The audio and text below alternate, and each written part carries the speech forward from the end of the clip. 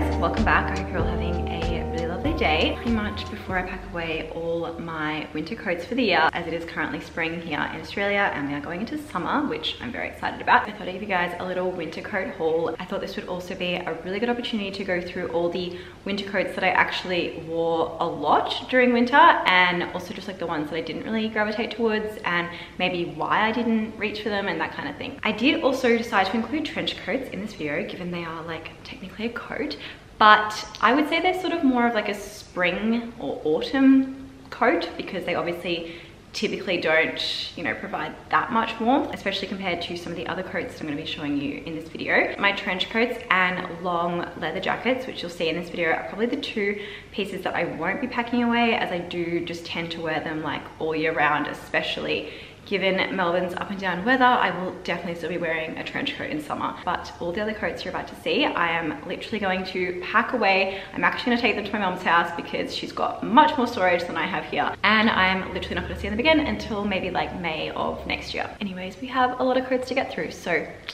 let's get started. Starting with trench coats as they're probably the most trans-seasonal coat I'll be showing you guys today. Plus I do also happen to have quite a lot of them. So in recent years I have really loved wearing long trench coats. So this one is really great. It is from W Concept.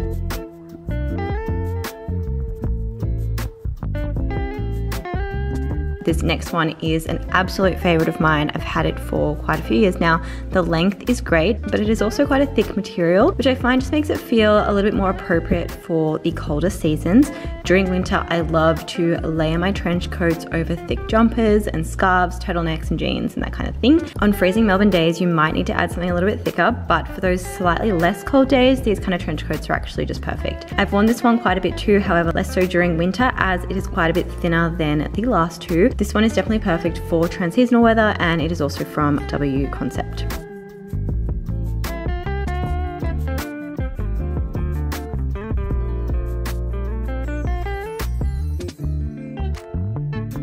This next vintage Burberry one is actually the one I've probably worn the least in recent years. It is super light in color, whereas I've typically been gravitating towards darker coats and even like more khaki or darker beige, like some of the ones that I've just already showed you. It is also a lot shorter than the other three, still very much classic piece and one I will keep in my wardrobe for years to come. I just haven't found myself wearing it that much recently. This next one is super fun. It is a trench coat and a vest. You can wear the two pieces together or separately. It is from St. Agni. And you guys already know how much I adore St. Agni, but I think the thing that's held me back from wearing this one more recently is again the length. It is a bit shorter than those first three that I showed you and so those earlier ones really have been my go-to recently. I think I just prefer that super oversized long fit and you know they kind of have like a real inspector vibe to them and for some reason I quite like that. This last trench coat I really love. It has definitely got a similar feel to some of the early ones but it is instead in this beautiful dark charcoal color. This is a great piece. I've had it in my wardrobe for a couple of years and I do actually keep coming back to it each year. I really do love dark coats during autumn winter which you guys will see during this video. So this is probably when I get the most use out of this coat. And this last one isn't really a trench coat, but I didn't really know how else to categorize it. It is more just a longer style khaki jacket,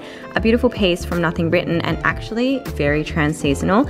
It isn't overly thick, so you could definitely wear it during autumn or spring, which is what I'm gonna be doing at the moment. And given I'm in Melbourne, I'll probably be wearing it a bit during summer as well. Next up, I wanted to chat about leather coats. I have a lot of shorter style leather jackets in my wardrobe, but only a few leather coats. The first one I have, no doubt you have seen many times before. It is one of my absolute favorite coats in my collection. I adore the forest green color, the type of leather, like the pebbling sort of effect. Honestly, everything about this coat is just so great. I actually wore it a fair bit during winter with just thick jumpers underneath with stockings and skirts and boots. It's probably not my warmest piece, but it is still a go-to. And surprisingly, this next coat is actually a lot warmer than it looks. It is a stunning leather coat from Camilla and Marc. I absolutely love everything about this coat, the paneling on the sides, the padding effect. It just feels and looks like really good quality, which it absolutely is, so as it should. I wore this a lot again with thicker jumpers and jeans, cargo pants, and chunky shoes.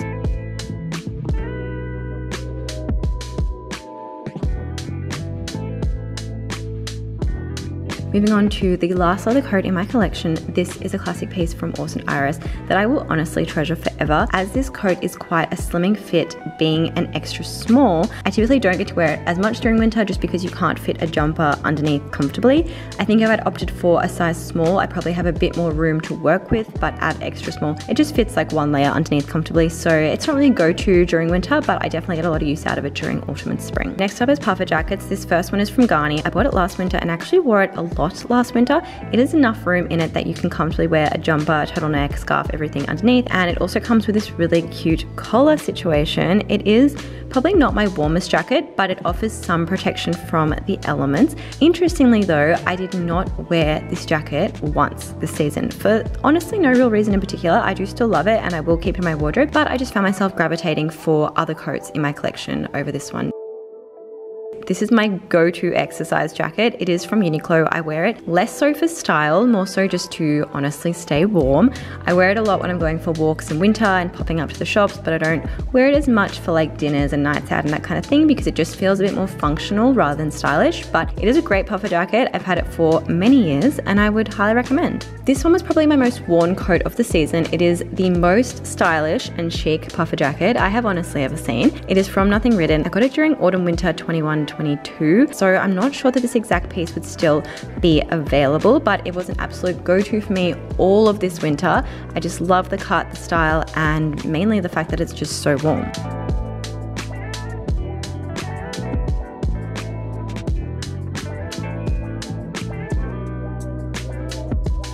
So this next one is really similar in shape to the last one. However, because I love the last one so much, I just really did not get a chance this winter to wear this one. It is also not as thick and warm and feels more like a spray jacket compared to the puffer style jacket. All right, so wool coats. I have a few in my wardrobe, but only two that I wore religiously during this season. The first one is this charcoal gray one. It is from The Curated. I could not get enough of this coat. I love how oversized it is. It feels so chic and surprisingly is a lot warmer than you might actually think given it isn't lined. I could comfortably fit jumpers and scarves and thermals underneath and I loved wrapping it up just like this. It kind of felt like I was wearing a dressing gown out in public, which was obviously just great. This next one I raved about all of last winter, and so this winter is honestly just no different. It is from Philippa Haag, and it is the perfect long black woolen coat. It is fully lined, making it extra warm, and it is honestly just so chic. I have loved this coat for two winters now, and I know it is a piece that I'll have forever. Ending on two lighter shaded coats, this first one is from Tove and it is such a stunning piece. It actually breaks my heart to say I have not really had a chance to wear it. I think the color is a bit different in shade to what I'm used to wearing, so I don't always know how best to pair it or how to even like style it during winter, especially living in Melbourne. I just find I prefer to gravitate towards darker colors during winter and yeah, I just I just naturally go for the darker coats. I do love the added scarf detail to this coat though and I am determined to find a time to wear it soon. This last coat is also from Nothing Written, a beautiful piece, but again, I think because of the lighter color, it is just something that I don't seem to gravitate towards during winter. I really wanted to wear this item more because it is warm and it's also very chic, but it just, it doesn't feel as cozy as some of my other coats. I really hope that you guys loved this video just as much as I loved filming it and making it for you. I'm kind of thinking next I should do a video on all my jackets and blazers and like short leather jackets and that kind of thing. So let me know if you would like to see that and I will get working on it. Anyways, that is all. I'll see you guys very soon. Bye.